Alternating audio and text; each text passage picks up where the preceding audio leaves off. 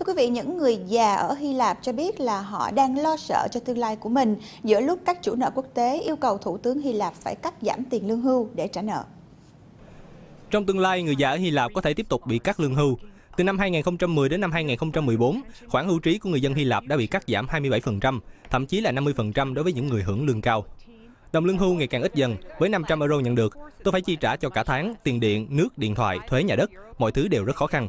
Các chủ nợ quốc tế đang yêu cầu chính phủ Hy Lạp cắt lương hưu và nếu buộc phải cắt thì chương trình của chính phủ nhằm hỗ trợ những người về hưu khó khăn nhất có thể bị cắt bỏ. Nếu mà họ giữ lời hứa không cắt lương hưu thì chúng tôi sẽ ủng hộ họ mãi mãi. Còn nếu họ cắt lương hưu thì hãy ra khỏi EU đi. Nhiều người về hưu cho biết họ sẽ ủng hộ Thủ tướng Alexis chừng nào ông còn đấu tranh quyền quyền lợi của họ trong các cuộc đàm phán với các chủ nợ. Nhưng nhiều người tỏ ra thất vọng. Ông ấy nên nhượng bộ một chút, nhưng không vì thế mà làm tổn hại đến những người nghèo và tầng lớp bình dân. Như là có những cửa hàng phải đóng cửa. Ông ấy không thể phán bội người dân bằng cách hứa một đằng nhưng lại làm một nẻo. Tôi không thể hiểu được. Cuộc họp khẩn cấp giữa các lãnh đạo Eurozone vào đầu tuần này được xem là cơ hội cuối cùng để đạt được một thỏa thuận và cứu Hy Lạp thoát khỏi vỡ nợ.